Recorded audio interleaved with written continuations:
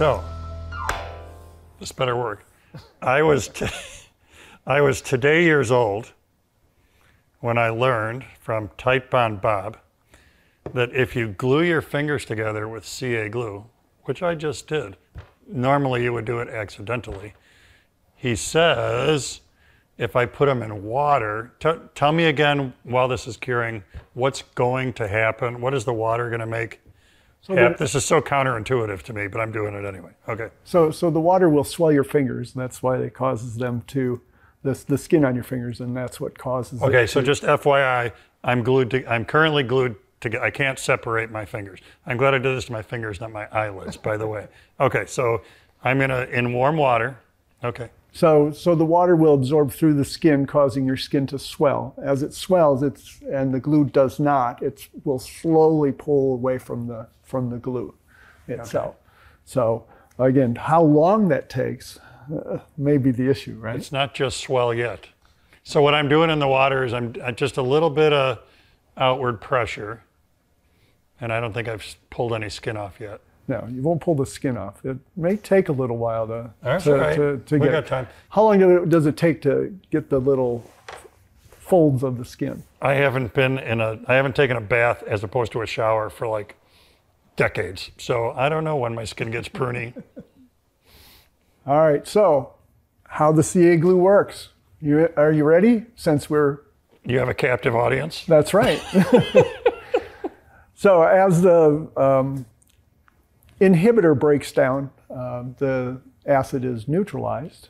Uh, a hydroxyl group is formed, which has an extra electron on the end. And on the electron will then move through the double bond, which You are a then opens blast at up. cocktail parties. And then as that electron then zippers on and builds others on top of it. It can go for pretty fast, and each one is a little bit exothermic, which is what can cause the heat to generate. Are you going to fall asleep yet? I'm, I'm, I'm, this is great because I was looking for an afternoon nap. So I'm pretty close now. But anyway, it's, so as I pull, like at the very edges, it just started to separate a little bit, but not, you know, they're not readily Yeah. just at yeah, this it won't, it won't do that. It'll slowly, as as the water absorbs on the outside of the CA glue and then moves to the inside, it'll start to. it's separating more and more from the outside in. And it, I think I'm 30 seconds away from having them apart apart. Maybe. I hope I don't, you know, shatter the glass with my super finger strength when they pop apart. But yeah, it's weird. It's interesting how I can feel it giving. it's the wrinkly skin effect. Yeah, it might not be 30 seconds. It might be more than that. So, Bob, how how do you know that this works, or do you know that this works?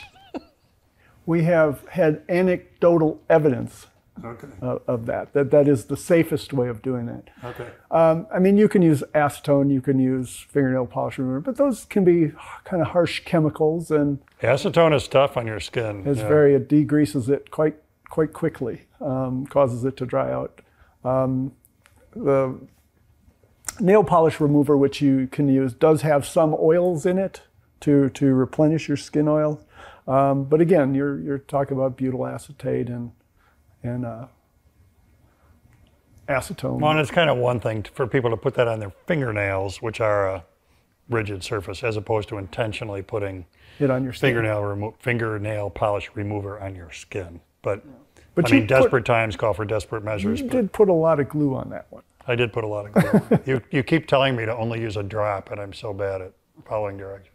So for people still watching and not dozing off, thank you for still watching. I'm not quite ready to take a knife and cut my fingers apart, but like there was a distinct, I don't know, sort of puckering apart that was happening, and then it kind of stopped. Like literally, when I said I think there's 30 seconds to go, they were really feeling like they were coming apart. And that's probably the edges that were absorbing that. And then as you pull it apart, now it's it has to absorb the water again. So Because the glue itself is water water resistant. water resistant. I mean, you can put that, like I said, I've got a film of that under water to determine if it swells or anything. Um, it's been underwater for 12 years and has not moved. So this took a long time. but what do you keep saying to me over and over again? You used a lot of glue. I glue. use a lot of glue. So realistically, I think if somebody was accidentally dabbing their fingers together, there'd be like a tiny spot of glue on there, not a quarter size chunk of thick glue. Um, and the good news is, I mean, you can see how my fingers are kind of puckered. Um, so it's, as you said, it's that puckering. It's, the a, it's an puckering that- expansion contraction thing, right? Yeah, pulls it away.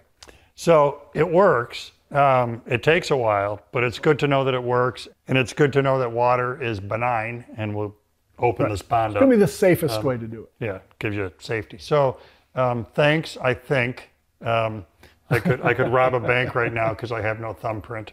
Um, it's covered with sea glue, but um, thanks. I think for the tip. You're welcome.